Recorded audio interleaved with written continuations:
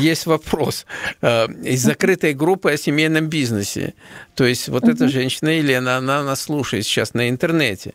А это та, дорогие друзья, которая э, задала вопрос, задала вопрос, и известны были даты ее и ее мужа. И мы как раз только что говорили о том, когда эта компания образовалась.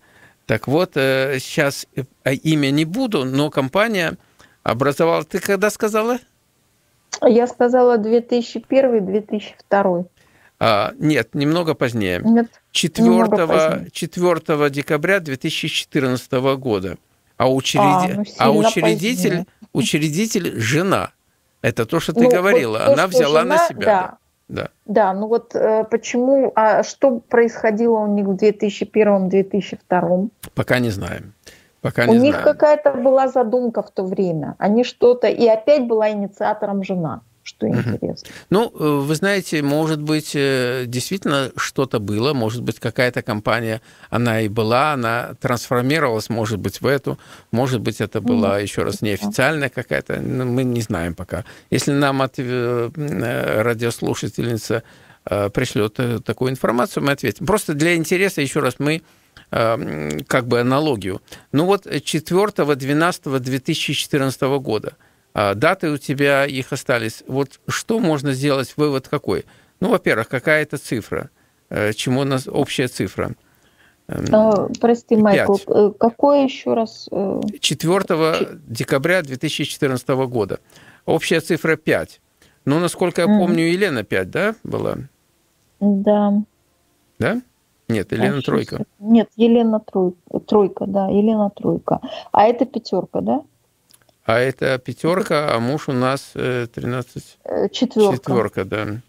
А ну, здесь пятерка, да. Значит, вот интересно. Тройка, Друг муж, дружкой, четверка, да. да. Вот четверка мне не очень, как бы это самое. Тут какая-то двойственность есть в этой четверке. То есть может быть и очень здорово и замечательно, а может быть в то же время идти в разнос. Мы uh-huh. этого пока не знаем. А, вот. а дата образования общая цифра 5. А, ну, uh-huh. что 5? 5 с кем? А, с четверкой, не знаю, не, не очень, по-моему, дружат они. Э, читаю, читаю, читаю. Да. Была фирма другая в 2001 году, вы правы, Эльза. Ну вот, пожалуйста. Спасибо большое. Мне, мне приятно, что я не ошиблась, хотя это, ну, как сказать, я стараюсь не гордиться, если э, какие-то совпадения, но мне все равно, конечно, Эльза, страна должна знать своих героев. Вопрос такой. Женщина обращается, Елена. Э, семейный бизнес, угу. женой. А, вот каковы перспективы прогноз на ближайший месяц в плане развития финансовой составляющей вот этого бизнеса.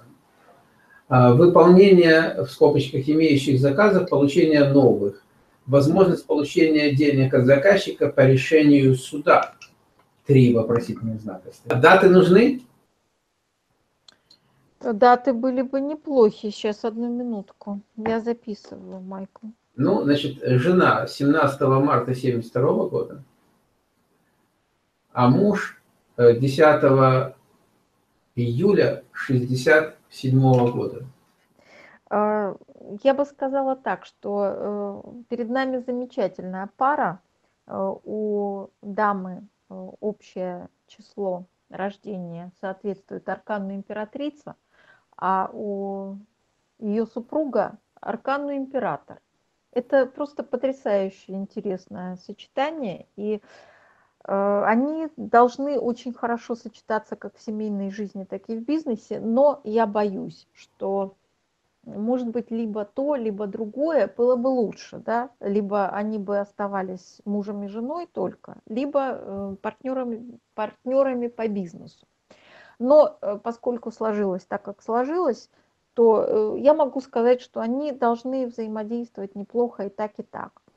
А зачем задается этот вопрос? Возможно, между ними возникают некоторые э, напряжения в отношениях. И то, что э, они получат эти э, деньги, заказы, да, уравновесит, уравновесит их отношения.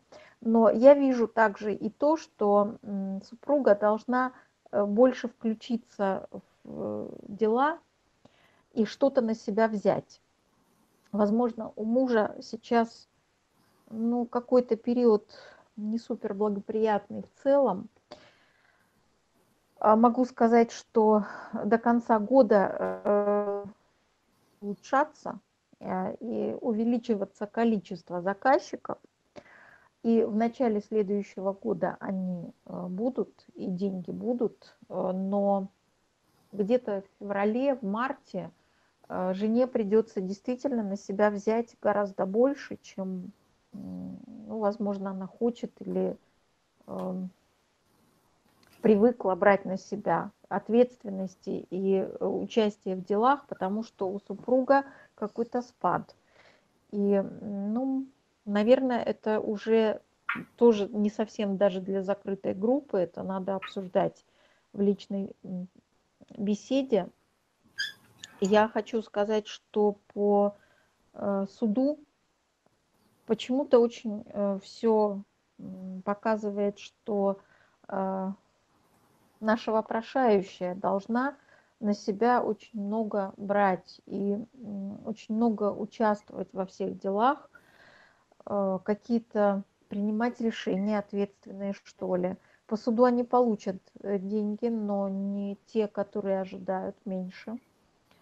Они имеют дело с очень ну, не знаю, не коварным, а